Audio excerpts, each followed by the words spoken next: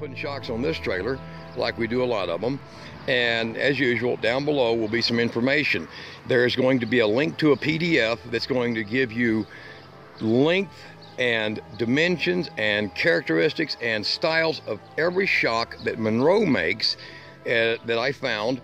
I'm going to post that down there where I've also got parts or relative product that's next to that for where you'll be able to get shocks to do what you're going to see here.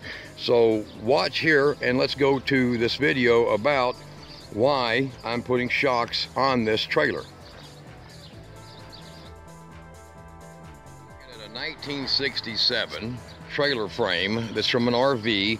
Um, if you look in the picture here, I'm going to show you a picture right quick uh, in the background of my Harbor Freight double, that picture.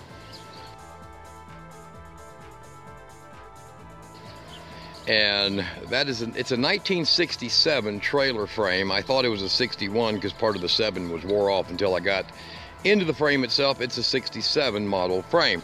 So back in 1967 was an extremely extremely good year apparently for trailer frame building. These are built very stout. However we're going to be cutting this to narrow it down to where it is a basically a five and a half foot wide bed by 14 and a half feet uh, total length of the bed and accessory area. And what we're working with here is, um, as you can tell, I put some nice uh, Ford Explorer rims on it. It has a 3,500 pound axle with 10 inch electric brakes. We're going to sandblast clean and replace all the hardware and internals of these, bearings included. And what I'm working with is I am really stuck on putting shock absorbers on these trailers. And a lot of people think that's silly or goofy, but if you use yours like I do a lot, you chew the tires up. They just get shredded up because when you're empty, they just bounce and chew up. It doesn't matter how well you balance them, they're just going to do it. Uh, even little uh, road expansion joints eat your tires up. For about 10 to $20 a piece, you know, when you're talking about a, a hundred dollars worth of good quality trailer tire, eight plies or 10 plies, for 10 to 20 dollars a piece, you can get something like these Gabriels here. And this is a Gabriel 749614 and they're compressible down to about eight and a half inches. So makes them pretty short. And what that allows for is it's got about three and a quarter, three and a half inches of travel, and it allows for me to place them right in here in the frame. So they'll fit without hitting anything. That's fully extended right there. So I'm able to put these damn near straight up with a little bit of compression already on them. And instead of having my tires uh, this is just an old set of tires that's on here. They'll be replaced. But instead of having my tires just shoot, just shredded up, my load jumped all around because of the thing bouncing. Putting a set of shocks on one of these is not that hard to do. It's actually pretty easy. And on this model, as you can see, all the hardware, all the crap from the travel trailer was still here. And this is pretty heavy steel here. This is uh, um, uh, quarter inch on the back on the long plate and 3 16ths coming out on this uh, flange for the C channel. So it's a four and four by one and three quarters. So it's pretty stout. I'm going to beef it up.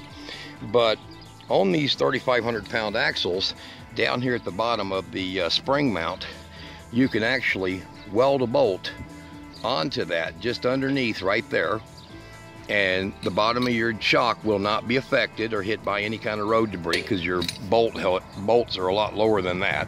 And you can weld a, a, uh, a number eight bolt all the way across right here.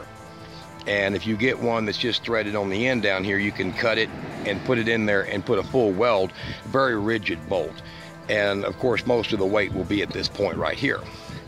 And you bolt that on and then we're going to show you how to make a little box in here for this uh, piece for this to mount on so that the shock will literally sit at about that angle up inside the frame about an inch off of the frame itself.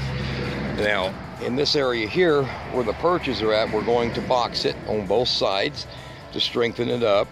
And then of course I'll have some cross members going in here and we'll put some pieces of plate down in here on both sides of the cross member. It's going to get very rigid that way. But being able to add an affordable shock absorber is a big deal. So that is what we're dealing with here.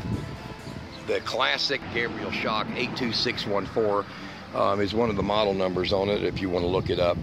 There, these were these were about 12 14 dollars so and one of the things you're going to be able to see me do later is how we're going to wire up these brakes on this. Now we're going to probably replace the brakes if they're not new enough as they are and replacing the um, the bearings.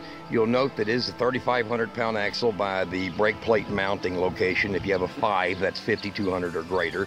So if you're looking at doing work using an old salvage frame like this, uh, look at some of my other videos. I've done a lot of work on that. And don't forget to comment. If you have a question, ask.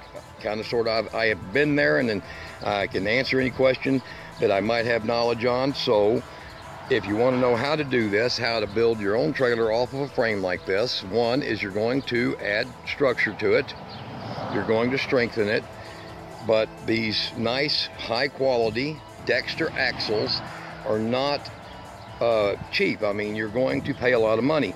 And these axles are not made in China. This is the good, heavy American steel, well made, durable. And if you have a choice between that and buying a kit of an axle and springs, try to find you one of these. Even at 30 or 40, and like this one's case, 50 years old, it's better than anything you get on the market today. And all the parts are still available. So, all right, keep an eye on this watch for more adaptations and changes to this one as we make this one. It will become the anime trailer.